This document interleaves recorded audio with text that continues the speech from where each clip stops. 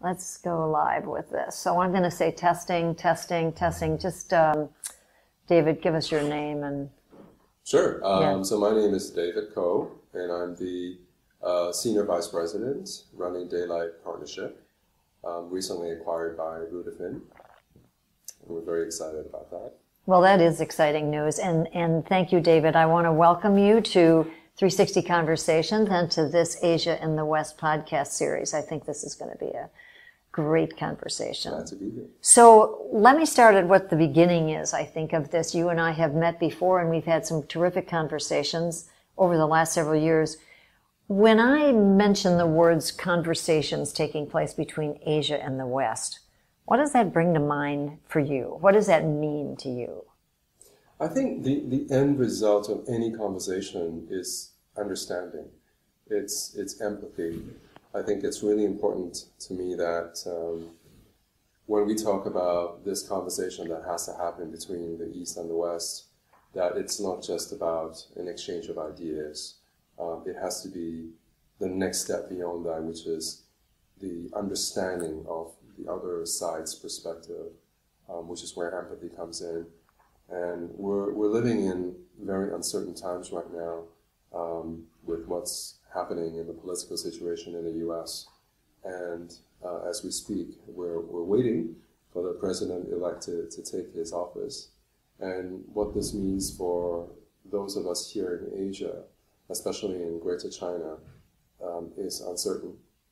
And there's True of the other side, too. it's tr- uh, Yeah, definitely, we're I, all- mm-hmm. I feel I feel for you as well. Um, there's a lot of posturing. There's a lot of open-ended questions. There's a lot of threats. Um, not a lot of reassurance. And so I think myself and, and most other people within my industry, we're watching this very closely. And as a communicator, um, it it makes me very sad. I mean, not just with the, the election results, but what happened throughout the, the, the, whole election process. This, um, this descent into um, um, less than civilized behavior, um, this um, validation of bullying behavior, uh, it, it worries me. It worries me a lot, especially when we're in a time right now as a civilization or as a race that is facing so many um, species threatening issues from you know climate change to um, just cruelty between people and, and I think it's it's a step backwards.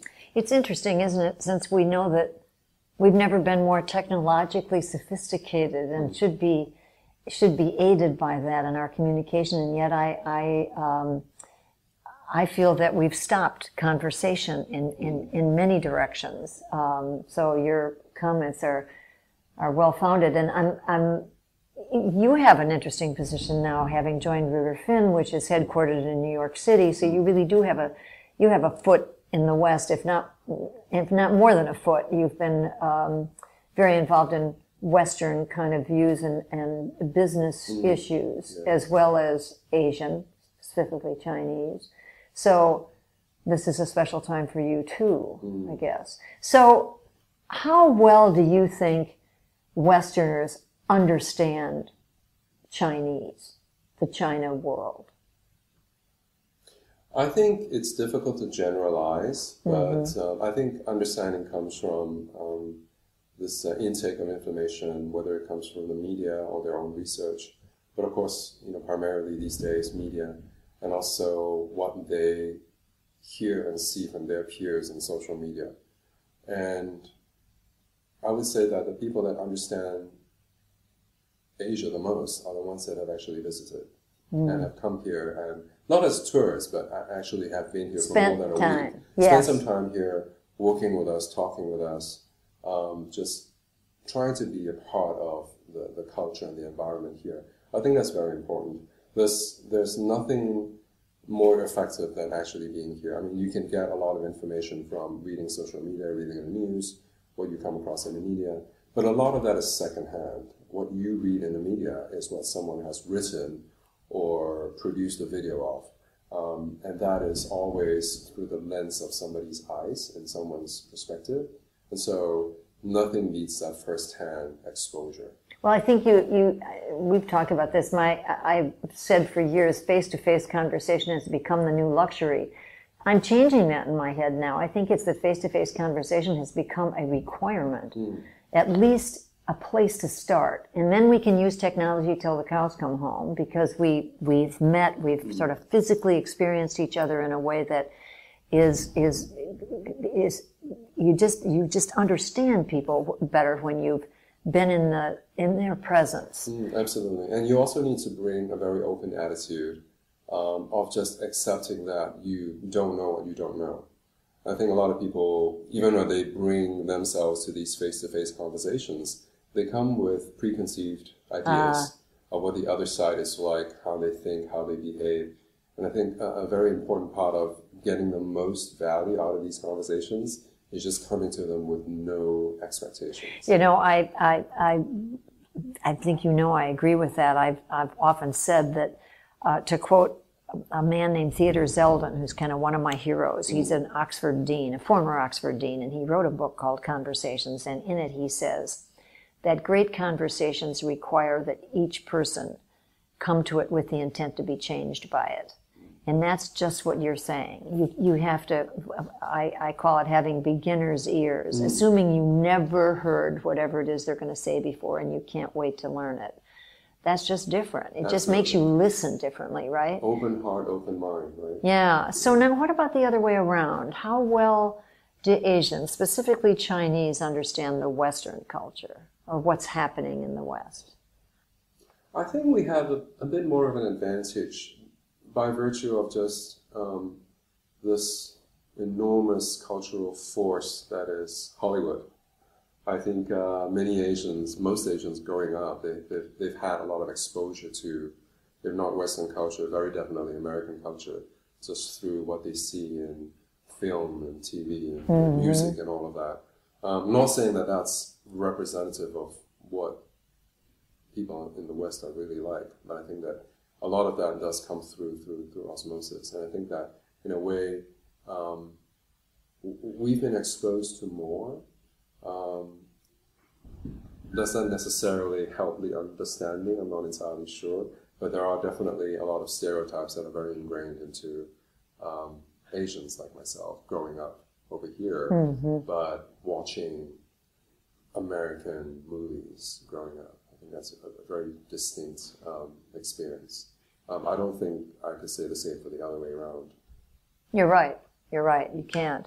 Um, and that has led, I think, in some cases, it's not just misinformation, it's just a lack of information. Mm. And perhaps the curiosity that should go along with that on the part of Westerners.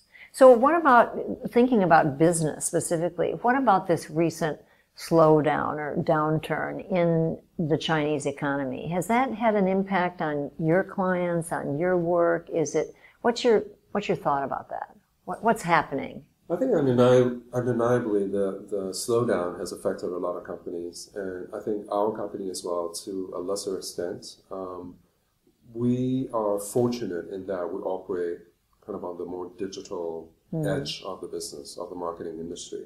So a lot of clients, um, when they decide to dial back their budgets, um, digital is one area where they're continuing to increase their, their investments. And so we've been very fortunate simply by virtue of being in that area of the industry.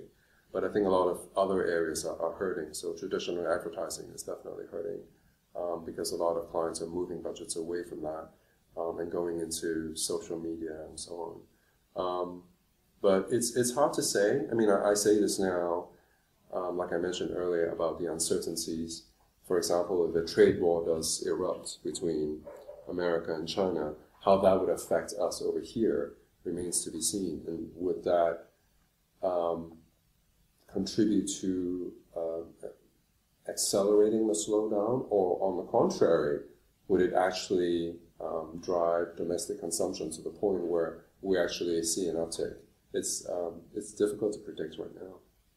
It's fascinating too because that's China's intent to increase that internal consumption, right? I mean, they're trying to move away from a strictly manufacturing export powerhouse to something more internally focused, Mm-hmm. right? I think China needs to move away from being the factory of the world Yeah. uh, into you know higher service sector uh, um, um, economies, right? So it's really trying to move up the food chain, and in parallel to that, driving domestic consumption so that China is producing and manufacturing more for the people over here than the West, because I think it's increasingly obvious now that that is not sustainable, and China cannot continue to just make um, widgets for people in Europe and America. It just doesn't work that way. So, how in touch with you? How in touch are you with the millennials of, of mainland China? And if you feel that you are, you have a sort of a mm-hmm. finger on that pulse. How has this slowdown affected them at all? Is there is there any thought of oh my gosh maybe this gravy train doesn't continue because they've known nothing but exponential growth since they were born really right mm-hmm. the last three decades. What's the story there? So, as a result of my involvement in Ruder Finn, I've been traveling very extensively within mainland China. Oh, great. Actually delivering training to their offices in, in Beijing, Shanghai, and Guangzhou. Um, and I would say um, close to half of the people that work in Ruder Finn in China are millennials. And uh, in fact, with my company here in Hong Kong, 80% of us are millennials. Um, and so I have a lot of these conversations. I think there is a um, uh, an abiding pride in, in their in the progress of their country. Speaking for the mainland millennials, um, I think the slowdown concerns them slightly, but that optimism is always there, and uh, they know without any doubt that things will always get better. Um, and I see this as this is a very fundamental optimism, and it hasn't gone away. Um, there is also this increasing sense of confidence, this knowing impression or this knowing uh, notion that China is the future, that um, like any civilization, you know, Western civilization will soon give way to perhaps an Eastern civilization. Uh, and whether China will be the lead of that or a very important part of that remains to be seen. But signs now are um, at least to the millennials in China that I speak to, signs are very clear that they see China as leading that growth into the next stage of, of um, civilization. It's where the action is. It's where the action is, and you know we, we get used to talking about Western civilization, but I think you hear a lot of talk about Eastern civilization and how that is the future for the human race. Now, coupled with that is also this growing sense of responsibility that we cannot rely on the West to solve problems of the human race. So China increasingly understands that they have a huge role to play, say, in climate change, in solving that problem. And I think a lot of the people that I talk to, they wouldn't be surprised if a um, technological solution for climate change came out of the East over the next decade. Um, they would not be surprised by that at all because they do see it as perhaps if the West lacks the political will to make a change, perhaps that needs to come from countries in Asia. Well, it seems as if, in fact, it represents a big opportunity because in the West, there are a lot of people who are denying that there even is an issue. But you don't have to travel too far into mainland China to know that there aren't many deniers about what's happening with pollution because it surrounds you. Absolutely. I So- mean, they see it, they Yeah, it, they breathe yeah, it. yeah. yeah. So I, that, that, that, I think, I think it could end up that China takes the lead on that and to the world's benefit, but definitely to its own, which is fascinating. Um, so you mentioned that the technological solution to that and other stuff would come possibly from the East and specifically China. So what about innovation? Where does it come from within China? I think it wasn't more than just several years ago that in conversations you were part of them i think where there were a lot of people saying well you know they have rote learning in their schools they don't really have critical thinking they kind of turn out these kids who you know are not going to be innovators. And lo and behold despite that educational uh, so-called barrier they're turning out tons of stuff right? So where's that coming from? Is it homegrown? Is it is it Chinese who are educated in the West and bringing bringing that critical thinking back? it's certainly not expats. There aren't enough of them, and that's sort of changed, right? What what where's the what's the source? I think it's it's a growing sense of, um, like I said, confidence. So there's this understanding that we don't always have to look to the West to lead, to um, provide the environment for, for innovation. Uh, of course, um, people still talk about Silicon Valley. People still talk a lot about um, venture capitalists and so on. Um, but what I'm sensing and in talking to a lot of people, especially young people, is this growing confidence that they can innovate, they can invent, and they know that sooner or later uh, they will reach that critical mass of just um, one invention sparking off another, um, and just having this wave of innovation kind of roll through. Well, not just China, but I think all over Yeah. uh, uh, Northern Asia as well. Um, a lot of that is indeed just for people being exposed to the West, perhaps having worked and lived in the West, coming back to Asia. We're definitely seeing that. Um, there's a, an increase in people who were educated in the West coming back to China um, and building businesses and becoming entrepreneurs. And I think that will be the catalyst for driving that innovation forward. Um, but I think underlying all of this is just it's almost almost like giving ourselves permission to lead the world and not have this notion of oh we we are derivative. We are not inventive. We we copy. I think um, that might have been true 10 years 20 years ago. But i think looking forward 10 years 20 years we'll see a lot of people say i invented this. No one in the us has this and i'm going to change the world with this. And i think having that confidence to say that and believe in it um, is something that wasn't there before. And I'm seeing it in a lot of young people that I talk to today. Really? So it's very encouraging. That's exciting.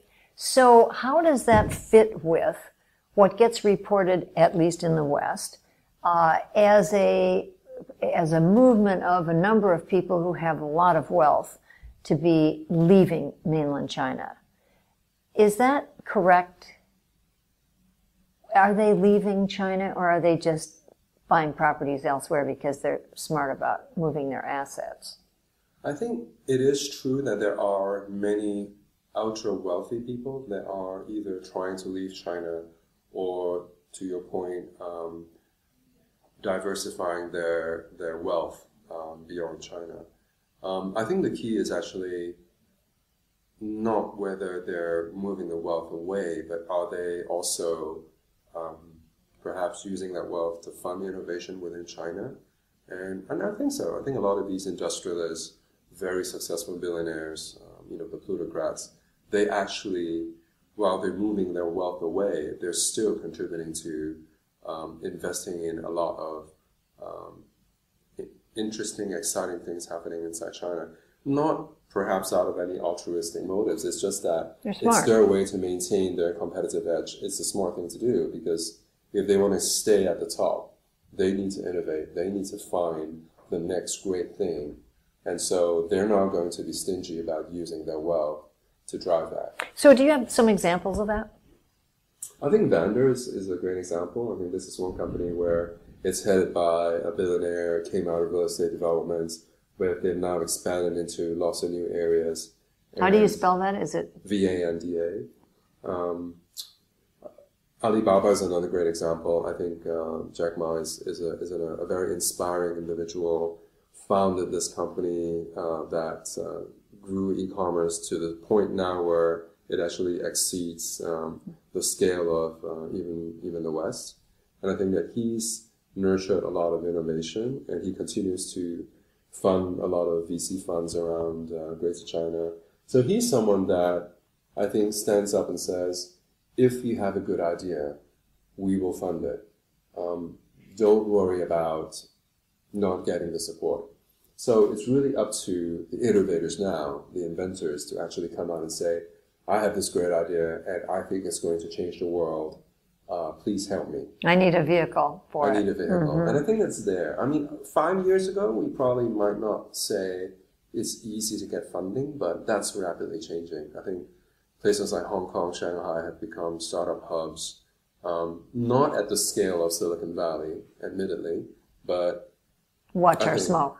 Watch our know, smoke. Yeah, Yeah. Uh, but this this this understanding that if you have something that works and can gain traction, you will get funding. I think that's there. That is no longer a myth. It's actually true. Wow, that, that, that's potentially highly significant. So um, you brought up Jack Ma, and his company has now purchased the South China Morning Post. What do you think about that? Is that is that um, there are people that I've talked with since I mean this is brand new that they've in, they've, put in a new CEO who's a uh, an American Chinese background but basically an American a tech guy not a journalist there are people that I've talked to who say, oh, well, you know, really, Jack Ma's made a deal with the Chinese government, and this is really going to be the voice of mainland China. And there are others who say, no, he's really serious about having this be something that comes out of Hong Kong and represents a view of China that hasn't been expressed before. Mm. Where do you sit in your guess about all that? I think the simple answer is no one knows yet. Mm. Um, if you talk about this pivot towards greater emphasis on China, you know, both in coverage and in editorial direction, that happened way before Jack Ma came on the scene. I mean, I, I used to be in public relations, and so we work with journalists at the Post all the time. And I would say starting 10 years ago, mm-hmm. the focus has always been they want to do more stories on China. And so this, this pivot towards China is nothing new. Um, I think the question mark on everyone's minds right now is the impartiality of the Post. Can they stay um, neutral? Neutral. Can they maintain that third party point of view? I think that remains to be seen. I, I think there are some valid concerns, but um, is not dumb. I think if he knows that he wants to maintain the value of the Post as an independent voice, he needs to give it that independence. Uh, and uh, I, I don't think that he would. I don't think that he would kill it. Well, you know, it's potentially a very big deal because there is no real source that is highly recognized globally for that. I mean, it's it sort of is, except you don't find. I know that more people read the post or read what they find on the post online or uh, or otherwise outside of Hong Kong than within Hong Kong. I did, I did hear that recently.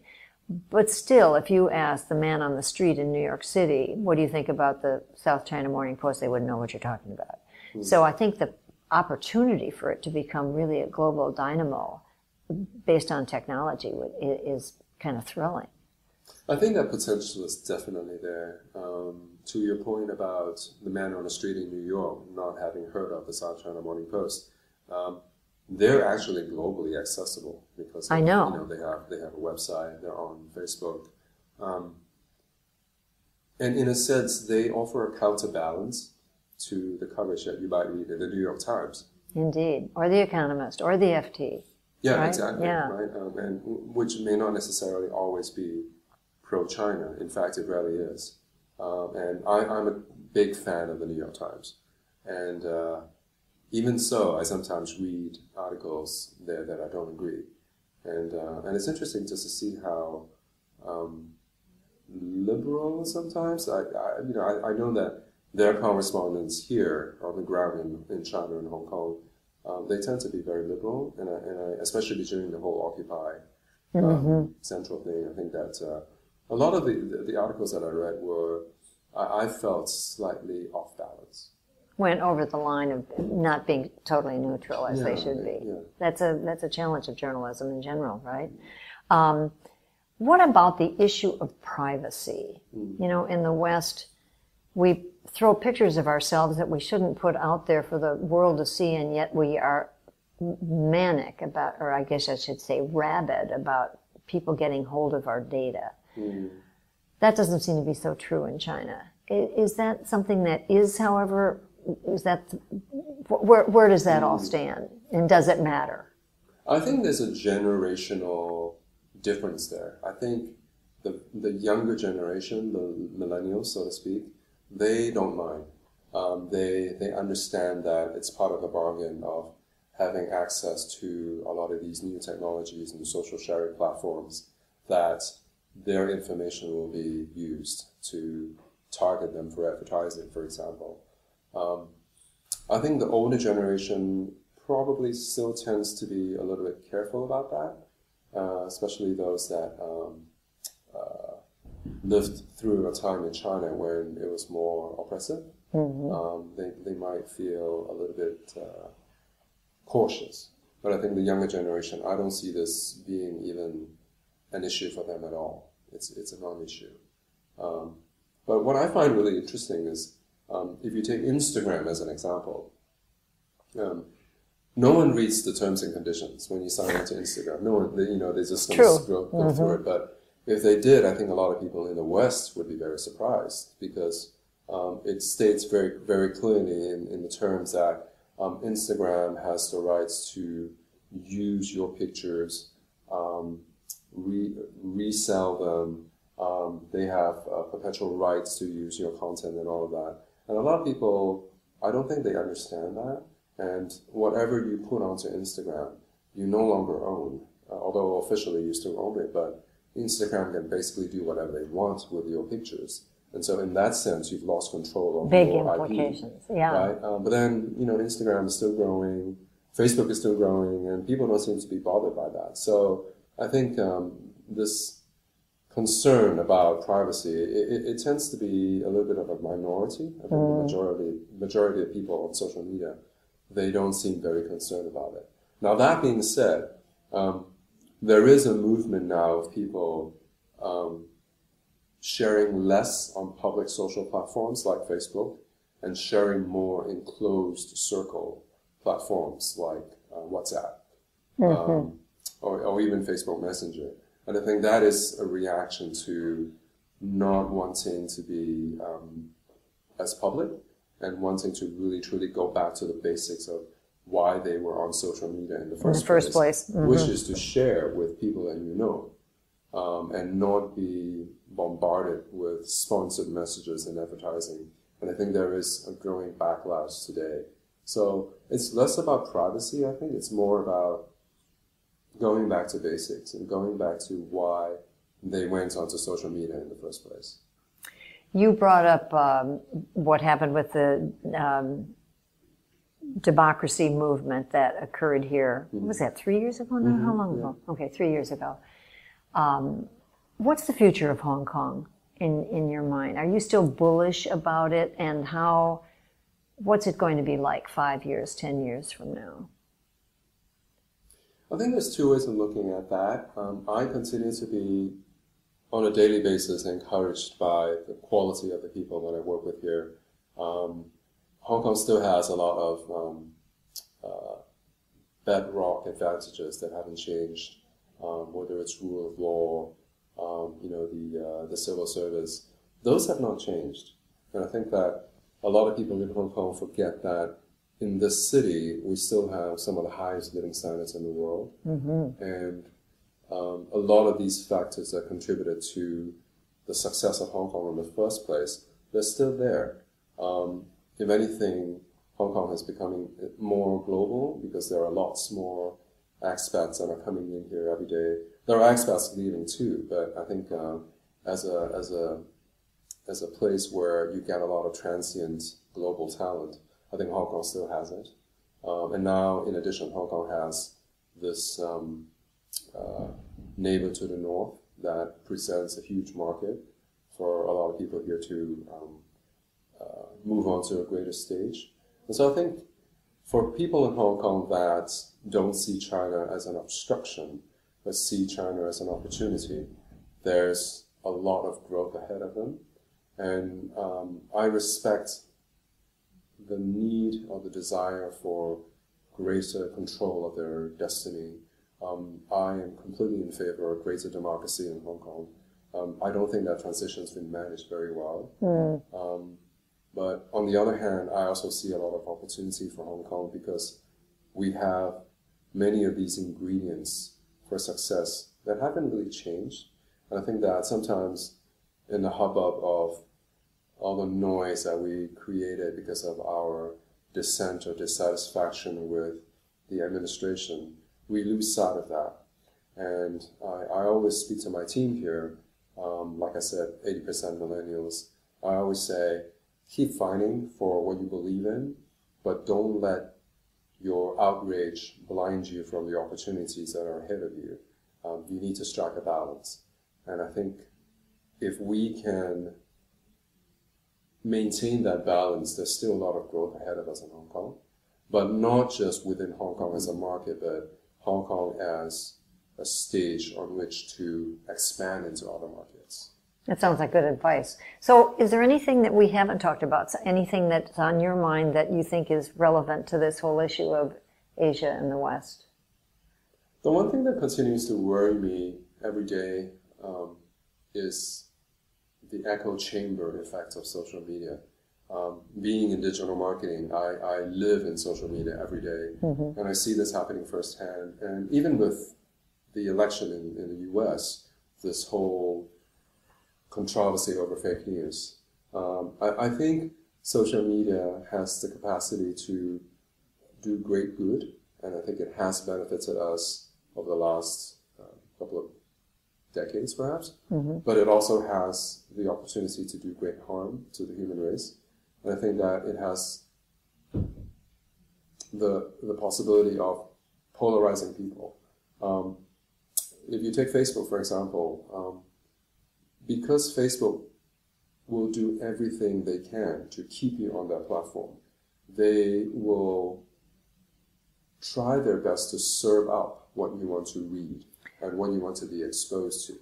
And it's, uh, it's a self-reinforcing cycle. So you tell Facebook what you like to read and what you like to be exposed to, basically what you agree with, and they will only show you that. Which means and, that we're only listening to people like us. Exactly. And mm-hmm. so the, you form this echo chamber of believing that your views are the only view. Your, what you think is the best thing. You're right all the time. And you gradually become distanced from dissenting voices, from opposing views. Well, that certainly did happen in this election. That was Absolutely. pretty globally Absolutely. obvious, wasn't yeah. it? And the election was a great example of how that can harm us. And multiply that effect across hundreds of different social issues. Um, and you have the world in a very dangerous place. Isn't it ironic? Because it should be just the opposite, that we've never had more of an opportunity to be truly informed. So yeah, I think I think it's because social media uh, or Facebook started out as a way for people to communicate and share. I think where it went off the rails is when these companies decided that they were going to be the curator of what you see and what you read and what you hear. And they don't do this with any malicious intent, I know. But the commercial dictates of running a business that has to turn a profit has led them down this path of self-reinforcing, of creating these echo chambers. And inadvertently, they made a world a more dangerous place. And that worries me every day. So what do you think the antidote is? How do we... Spend less time on social media. yeah. So what I do is, so uh, as my, my New Year's resolutions for uh, 2017 is, uh, one of 10 is make an active effort to go out and listen to opposing views um, subscribe to Fox News, subscribe to Breitbart. Mm-hmm. You know, listen to people that you used to have a tendency to just dismiss outright. Um, what is to you crackpot? There might be that kernel of truth there that you have to respect and understand. And I would also urge people on the other side of the, the spectrum to do that too. And I know it's not easy because social media makes it so easy to tune out opposing mm-hmm. views. And so you actually have to make an active effort to go out and get it. You know, it's a, in a way, it's re, it, we've come full circle in the conversation because it's reflective of the value, as you said, of people going to a place where they are in fact different, where they may be uncomfortable in another culture, and of course that's where the be- wisdom begins. So you're right. In a way, we we need to do this on a, on a couple levels, not only on social media, but actually get people into places where they have not lived before. And that, that personal connection can mean a lot. Well, this looks like a great place to stop, actually, David. This has been terrific. I so appreciate your, your comments and your perspectives. They're always so wise. Thanks for having me. So thanks for being part of Asia in the West. And um, I hope we talk again soon. Great. Thank you. Thanks.